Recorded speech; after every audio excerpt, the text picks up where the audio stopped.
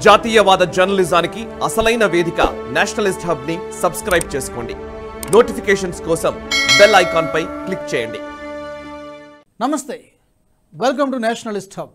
Bharat అన్ని రంగాల్లోనూ అగ్రరాజ్యాలతో పోటీ పడుతోంది. అలాగే డ్రాగన్ కంట్రీకి ధీటుగా ముందుకు సాగుతోంది.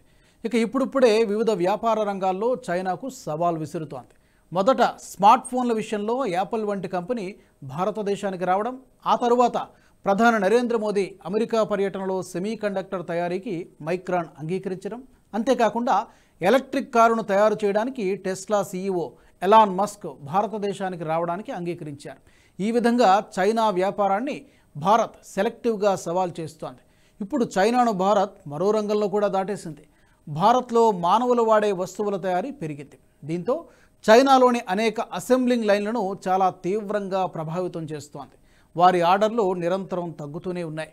మన దేశంలో ఎక్కువ వాడగలిగే బ్రాండ్లు ఇప్పుడు భారత్లోనే తమ తయారీని ప్రోత్సహిస్తున్నాయి.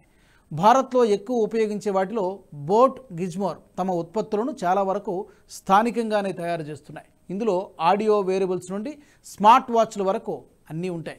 ఇందుకోసం డిక్సన్ టెక్నాలజీస్ ఆప్టిమస్ ఎలక్ట్రానిక్స్లో కాంట్రాక్ట్ తయారీదారులుగా చేరారు. ఈ కంపెనీలు ఆడియో బ్లూటూత్ హెడ్ఫోన్లు స్మార్ట్ వాచ్లను దేశంలోని ప్లాంట్లలో మాత్రమే తయారు చేస్తున్నాయి. మరోవైపు గిజ్మోర్ సీఈఓ సంజయ్ క్యాలిరోనా మాట్లాడుతూ ధరించగలిగే వస్తువుల అసెంబ్లింగ్లో ఎక్కువ భాగం ఇప్పుడు చైనా నుండి భారతదేశానికి మారిందని ఇయర్బడ్స్ నెక్ బ్యాండ్లు స్మార్ట్ వాచ్లను తయారు చేయడంలో మాత్రమే నిమగ్నమైన చాలా యూనిట్లకు ఇప్పుడు ఆర్డర్లు లేవని చెప్పారు. గతంలో చైనా నుంచి పూర్తిగా తయారైన ఉత్పత్తులు భారత్కు వచ్చేవని అయితే ప్రభుత్వం వాటిపై పన్నును పెంచిందని చెప్పారు. అప్పుడు తాము వాటిని భాగాలుగా దిగుమతి చేసుకోవడం ప్రారంభించామని అయితే వాటిని ఇండియాలో అసెంబ్లింగ్ చేయడం ప్రారంభించామన్నారు. అందుకే అసెంబ్ల్డ్ ఉత్పత్తులను భారత్కు సరఫరా చేసే చైనా యూనిట్లకు ఇప్పుడు ఆర్డర్లు లేవని చెప్పారు. ఐడీసీ లెక్కల ప్రకారం చూస్తే రెండు వేల ఇరవై మూడో సంవత్సరం మొదటి త్రైమాసికంలో భారత్లో ధరించగలిగే వస్తువుల రవాణా వార్షిక ప్రాతిపదికన ఎనభై ఒక్క శాతం పెరిగింది. జనవరి మార్చిలో భారతదేశం ఇరవై ఐదు మిలియన్ల ధరించగలిగిన వస్తువులను ఉత్పత్తి చేసింది. అయితే భారత్ నెమ్మదిగా ప్రపంచంలోని అతిపెద్ద మార్కెట్గా అవతరిస్తోంది. అంతేకాకుండా చైనాను వెనక్కు నెట్టేస్తోంది.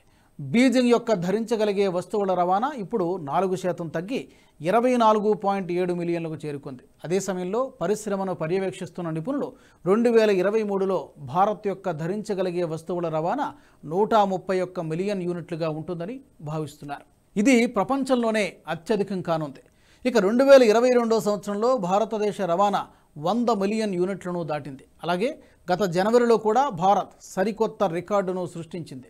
చాలా తక్కువ ధరలకు నాణ్యమైన వస్తువులు తయారు చేసే దేశంగా భారత్ ప్రథమ స్థానంలో నిలిచింది. గత కొన్ని దశాబ్దాలుగా దీని ప్లేస్లో చైనా ఉంటూ వచ్చింది. చైనా మొబైల్స్ కావచ్చు ఇతర వస్తువులు కావచ్చు.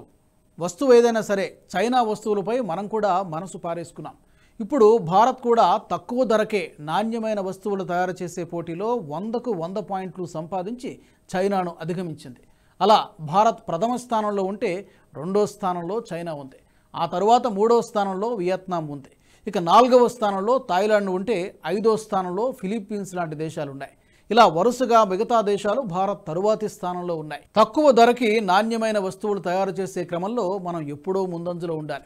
అది ఇప్పటికి సాధ్యపడింది.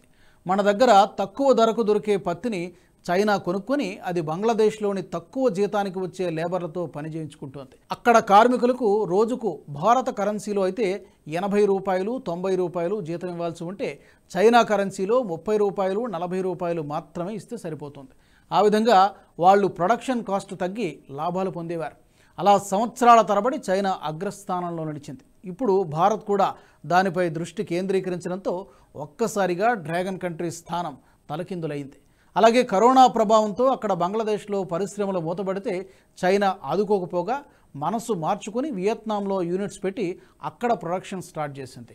దీంతో భారత్ కూడా గుజరాత్ బీహార్ ఉత్తరప్రదేశ్లో యూనిట్లను ప్రోత్సహించింది. ఆ రకంగా తక్కువ ధరకే ఉత్పత్తులను తయారు చేసే దేశాల్లో ప్రథమ స్థానంలో నడిచింది ఇది కేవలం ఉదాహరణ మాత్రమే. ఇలా మరెన్నో తక్కువ ధరకే నాణ్యమైన వస్తువులను తయారు చేసే విధానం మొదలుపెట్టి భారత్ చైనాను అధిగమించి ప్రథమ స్థానంలో నిలిచింది. ఇలా తయారీ రంగానికి బ్రాండ్ అంబాసిడర్గా చెప్పుకునే చైనాను భారత్ దాటేసి ముందు వరుసలో నిలుస్తోంది. మునుముందు మరిన్ని రంగాలు భారత్కు దాసోహం అనక తప్పదనే వాదనలు వినిపిస్తున్నాయి. మరోవైపు గత ఏడాది వరకు భారత్తో అతిపెద్ద వాణిజ్య భాగస్వామిగా చైనా ఉండేది. కానీ రెండు వేల ఇరవై ఒకటి ఇరవై రెండు ఆర్థిక సంవత్సరంలో అమెరికా డ్రాగన్ కంట్రీని అధిగమించింది. తద్వారా భారత అతిపెద్ద వాణిజ్య భాగస్వామిగా అమెరికా అవతరించింది. గతంలో ఈ స్థానంలో ఉన్న చైనాను అమెరికా అధిగమించింది. ఇరు దేశాల మధ్య ఆర్థిక బంధం బలోపేతానికి ఇది ప్రతీకగా నిలుస్తోంది. కేంద్ర వాణిజ్య శాఖ గణాంకాల ప్రకారం చూస్తే రెండు వేల ఇరవై ఒకటి ఇరవై రెండు ఆర్థిక సంవత్సరంలో భారత్ అమెరికా ద్వైపాక్షిక వాణిజ్య విలువ నూట పంతొమ్మిది పాయింట్ నాలుగు రెండు బిలియన్ డాలర్లు కాగా రెండు వేల ఇరవై ఇరవై ఒకటిలో ఇది ఎనభై పాయింట్ ఐదు ఒకటి బిలియన్ డాలర్లుగా ఉంది. ఇక రెండు వేల ఇరవై ఇరవై ఒకటిలో భారత్ నుండి అమెరికాకు ఎగుమతుల విలువ డెబ్బై ఆరు పాయింట్ ఒకటి ఒకటి బిలియన్ డాలర్లకు చేరుకుంది.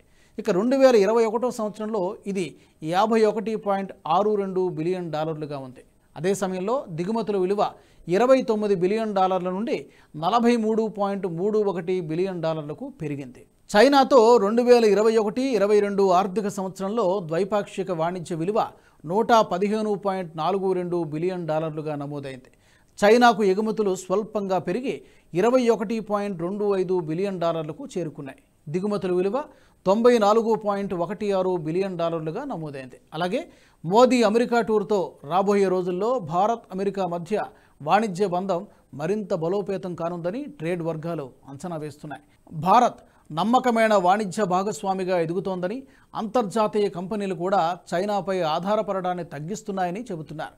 భారత్ వంటి దేశాలకు ఇతర దేశాల కంపెనీల కార్యకలాపాలు విస్తరిస్తున్నాయి. రెండు వేల పదమూడు పద్నాలుగు నుండి రెండు వేల పదిహేడు పద్దెనిమిది వరకు భారత్కు చైనా అతిపెద్ద వాణిజ్య భాగస్వామి కాగా అంతకుముందు యునైటెడ్ అరబ్ ఎమిరేట్స్ ఉంది.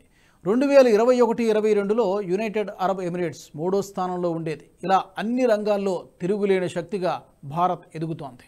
ఈ వీడియో మీకు నచ్చినట్టయితే లైక్ చేయండి పది మందికి షేర్ చేయండి అలాగే కామెంట్ల రూపంలో మీ అభిప్రాయాలను మాతో పంచుకోండి. నేషనలిస్ట్ హబ్ గ్రూప్ ఆఫ్ ఛానల్స్ను సబ్స్క్రైబ్ చేసుకుని తెలుగునాట జాతీయవాద జర్నలిజాన్ని ప్రోత్సహించండి. ఈ వీడియో కింద ఉన్న బెలైకన్ పై క్లిక్ చేయడం మర్చిపోవద్దు.